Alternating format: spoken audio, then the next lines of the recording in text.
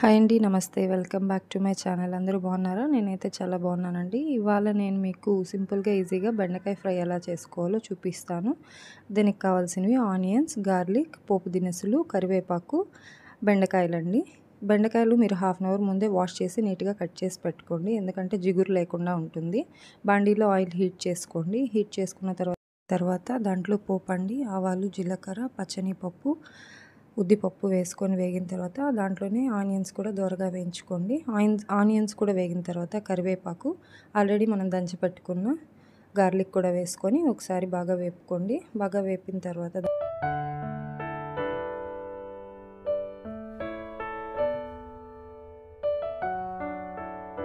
బాగా వేగిన తర్వాత దాంట్లో కొద్దిగా పసుపు కూడా వేసి బాగా ఒకసారి కలుపుకోండి. కలిపిన తర్వాత దాంట్లో మనం ఆల్రెడీ కట్ చేసి పెట్టుకున్నాం కదండి బెండకాయలు.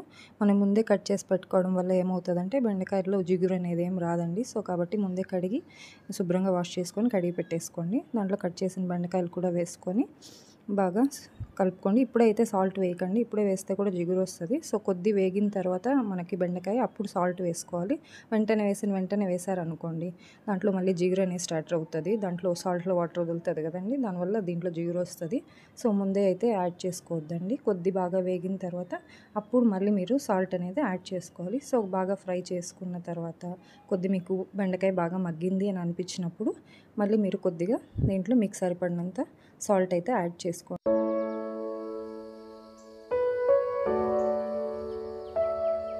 మీకు బెండకాయ కొద్ది సాఫ్ట్ అయినట్లు అనిపించింది కదా సో ఇప్పుడు సాల్ట్ అనేది యాడ్ చేసుకున్నాను నేను.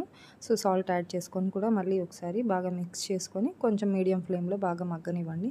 ఎక్కువ మరీ కలిపేయకండి. కలిపినారనుకో బెండకాయ ఎంత చిదురు చిదురు అయిపోతుందండి. సో మీ అలా కొద్దిసేపు మిక్స్ చేసేసి సిమ్లో వదిలేసేయండి. కొద్దిసేపు అలానే మగ్గింది అనుకోండి తర్వాత మీరు దాంట్లో మీకు కావాల్సిన కారపొడి ధనియాల పొడి కొద్దిగా వెల్లుల్లి కారం అండి. వెల్లుల్లి కారం వేసుకున్నారనుకో టేస్ట్ బాగుంటుంది. రైస్లో కలుపుకొని తినడానికి సో నేను వెల్లుల్లి కారం. వెల్లుల్లి కారంలో నేనైతే వెల్లుల్లి మనం తినే శనగపప్పు అండి. శనగపప్పు ఎండుమిరపకాయలు కొద్దిగా లైట్గా కరివేపాకు వేసి పొడి కొట్టి పెట్టుకున్నానండి. దాన్ని దాంట్లోకి యాడ్ చేసుకున్నాను.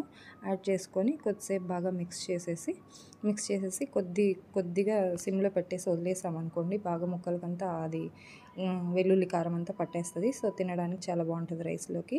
సో ఇలా ఒకసారి ట్రై చేసి చూడండి బెండి ఫ్రై ఎలా ఉంటుందో.